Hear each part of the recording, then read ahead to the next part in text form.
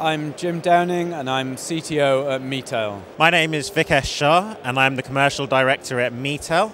And Metail is a startup company which digitizes human bodies and, on the other hand, clothes, and bring these together for a variety of different use cases. So, we, we already have a service which can help consumers pick the right size and get an understanding of how different sizes of a particular garment are going to fit them. Uh, we can take that further and give that as a service to retailers so that we can help them market better, target better, because they're able to bring the right clothes to the right customer at the right time. So there are two main halves to the infrastructure. Um, there's a back end that produces the digital models of the garments.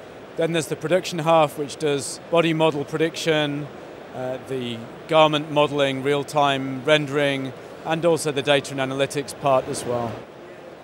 When our CEO started off the business, he had one single goal to find out if there was a way of digitizing clothes for less than $10 a garment. With the help of machine learning, we're automating more of these steps to get towards $3 per garment.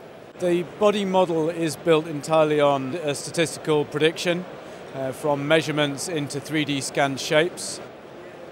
We'd look at quite a lot at runtime performance to make sure that the renders we're giving are, are coming through quickly uh, using, using Amazon has been a real boon for that because we're able to get our services closer to the consumers more easily.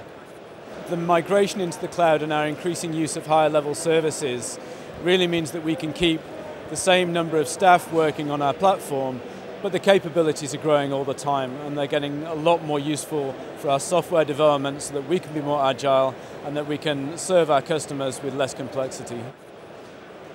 I think we've achieved a really good approach to simulating garments on different body shapes.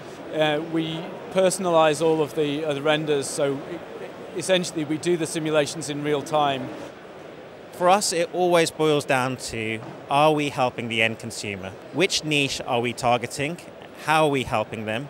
And working with retailers to support those end customers.